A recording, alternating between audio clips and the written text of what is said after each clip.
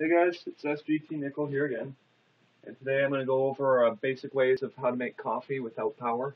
Um, quite often you'll often want to maybe use this if you're at home with a power outage. Um, camping, it can be done. Um, I'd recommend going with uh, maybe tin cans. This isn't the only way to do it. You can have two tin cans. You poke holes in the bottom of one, and you one's your filter and one's your vestibule, and you just stack them on top of each other put your coffee grounds in a filter in the top, you pour your hot water, and it soaks right through, and then you get up with your coffee in the bottom.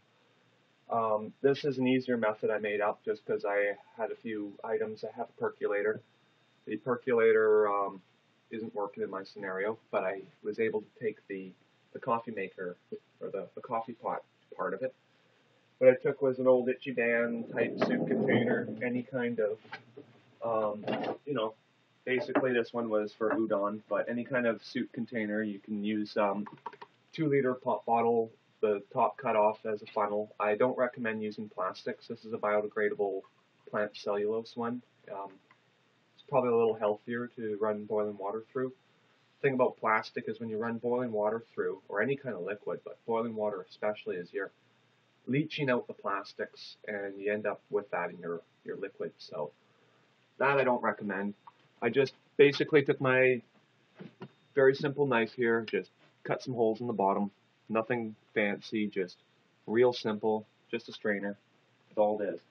And in my scenario, I don't have coffee filters. Um, you can also use paper towel. Um, this stuff probably isn't the absolute healthiest, but once in a while it's not going to harm you. I've done it lots. Um, you just basically put your paper towel inside the bowl, just like so. That's your coffee filter. This is your filter um, holder, and then your your pot to catch in.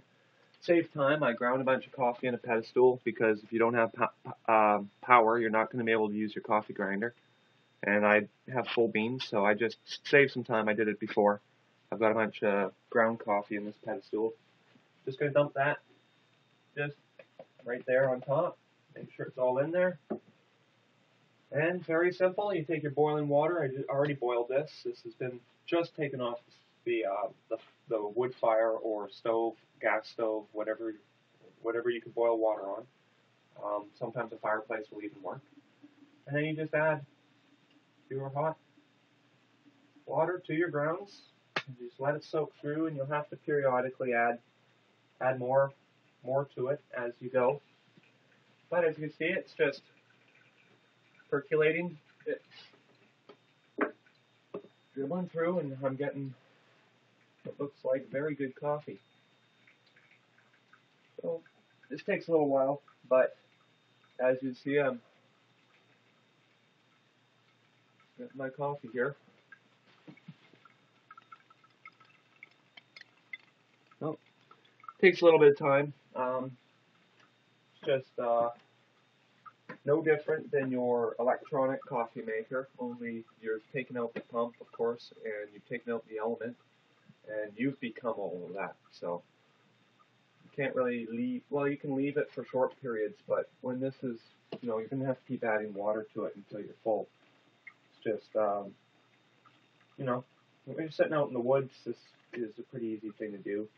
Uh, I can understand if you're on your way to work and you had to get packed, this might not, you know, getting all dressed and stuff, this might not be your option. But anyway, just thought I'd show sort of a simple way to make coffee. When this is done, I'm going to be having coffee this morning. So, anyway, thought I'd show a basic hillbilly coffee maker.